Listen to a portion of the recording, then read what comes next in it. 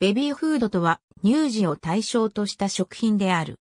離乳食と混同する人もいるが、ベビーフードは離乳食の中で乳児を対象とした加工食品全般を指す言葉である。また、1歳6ヶ月までの子供を乳児と呼び、よって、ベビーフードは、競技では、それまでの年齢を対象としたものに限定される。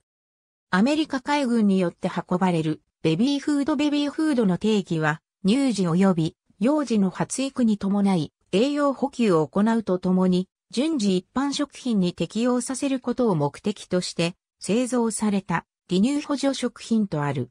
また、それと同時に乳児に噛む、飲むなどの動作、味や舌触りなどの感覚を覚えさせる目的も持っている。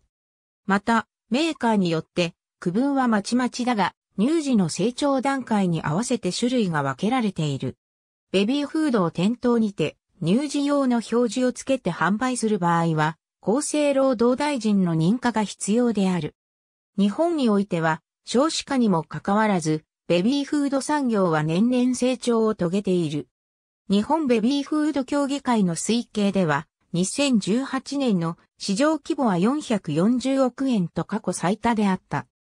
その社会背景には、共働き世帯の増加、ベビーフードを使うことへの心理的抵抗感の薄れと、かつてより少ない子供に費用をかける、思考、外出先に傾向できる、レトルトパウチ入りや1歳過ぎても使える製品の開発などがある。離乳食の調理は非常に時間と手間のかかる作業で、それらは主な養育者である母親の負担になっていた。それが育児と仕事を両立させるとなると相当な労力である。したがって、調理の手間を省くことができる規制の調理品である、ベビーフードがその利便性ゆえに重宝されるようになったのである。ベビーフード使用拡大の背景には、栄養に対する不安も大きい。栄養に対する知識は、育児の上では、絶対に欠かせない事項であり、バランスの取れた食事をとっていかないと、子供の成長に支障をきたす恐れがある。しかし、離乳食は作るのが難しく、仮に作ったとしてもそれが、どれぐらいの栄養、塩分なのか素人では、栄養摂取量の計算が困難である。だからこそ、あらかじめ栄養が表示された調理品を利用する傾向にあるといい、これならいつどのくらいの栄養をとったか、すぐに計算できる。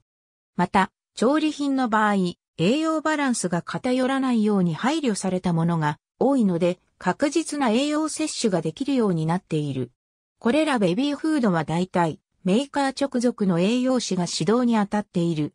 栄養のプロが指導した食品であるゆえに、消費者は安心して栄養摂取の方法を得ているわけである。そして今日では食に対する安全性も重要な要素である。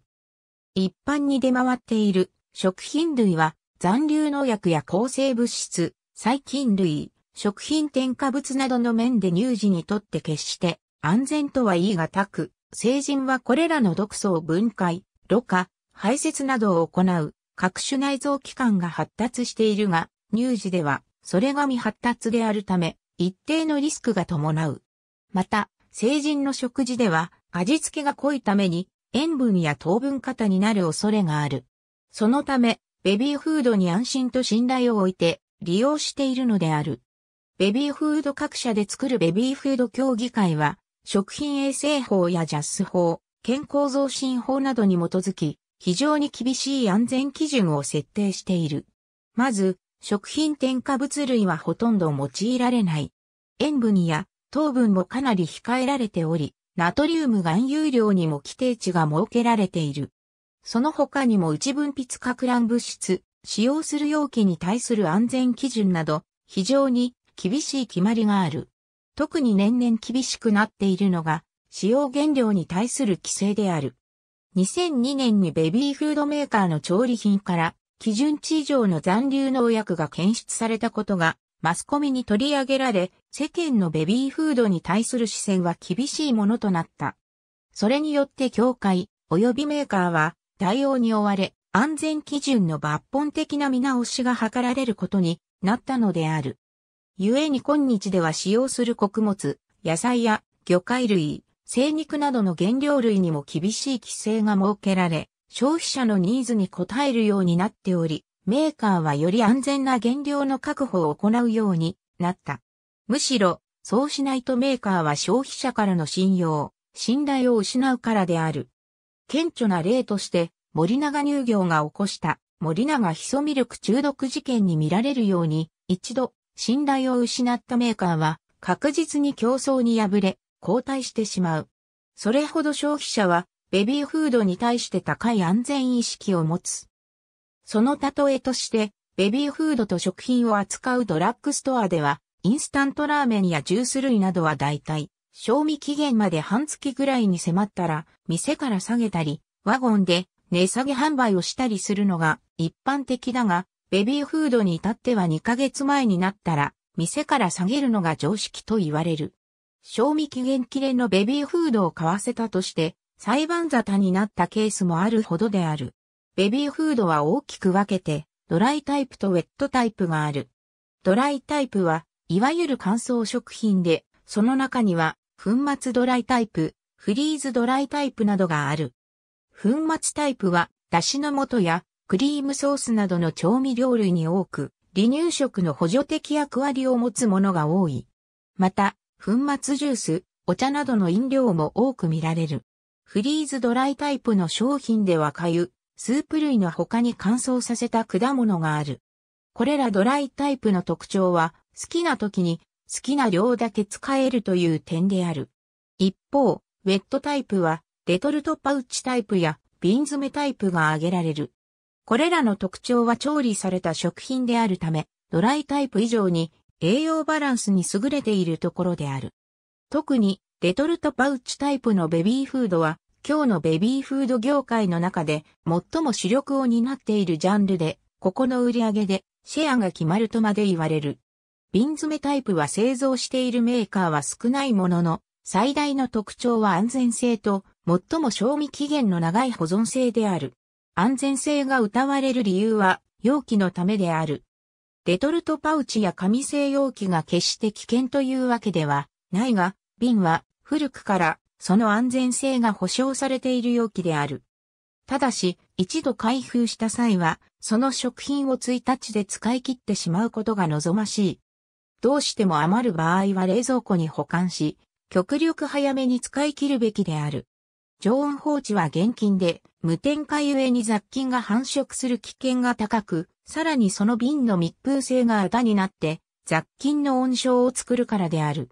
その他、ベビーフードには飲料、お菓子類及びお菓子の材料がある。また、アレルギーに対してであるが、すべての乳児がアレルギー体質というわけではないので、小麦、落花生など原因となる特定品目を使用しているものはかなり多い。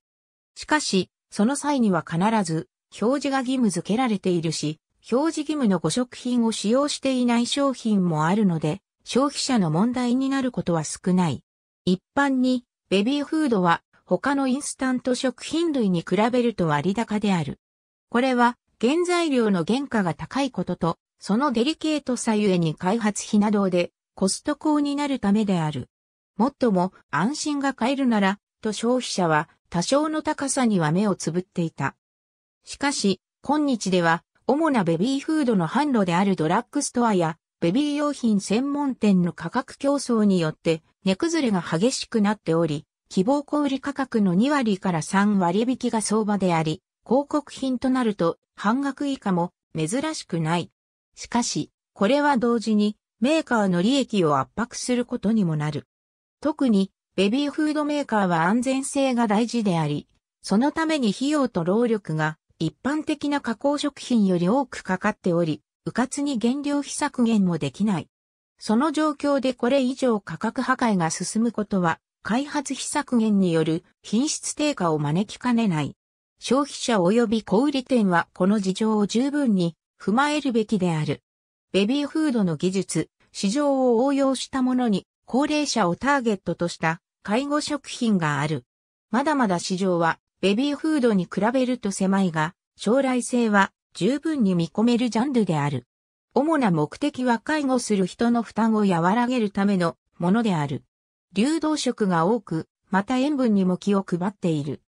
しかし、味付けに旨味調味料が用いられていたりと、ベビーフードに比べると規制はかなり甘く、基準も曖昧といえ、今後の発展にはさらなる整備が必要である。など、ありがとうございます。